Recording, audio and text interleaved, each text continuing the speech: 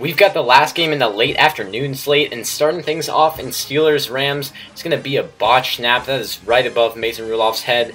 Dante Fowler Jr., he can walk in for an easy touchdown, so he'll get a quick scoop and score, and there would be a lot of defense in this highlights. Pretty much all this highlights would be defense, as that stripped Minkah Fitzpatrick. Steelers gave up the first rounder earlier in the year for him, and wow, that has paid off a ton. He's gotten a bunch of turnovers. That's his second defensive touchdown as a Steeler, and Minkah Fitzpatrick has just been so good, one of the game's best safeties since he's came over. And now Clay Matthews and Aaron Donald, it's another defensive highlight. They're going to combine for a safety, so that's going to cut the lead in half from 4 to 2, so it's 14-12 right now. And later in the game, Rams, they're trying to do something. They're down by 5, 30 seconds left, and who is going to catch this pass from Jared Goff? Not one of his receivers, but it's tipped, and it's who but Minkah Fitzpatrick what an investment this was for the Steelers. One first round pick for Fitzpatrick. He's been their best playmaker on defense. So many turnovers already, multiple touchdowns.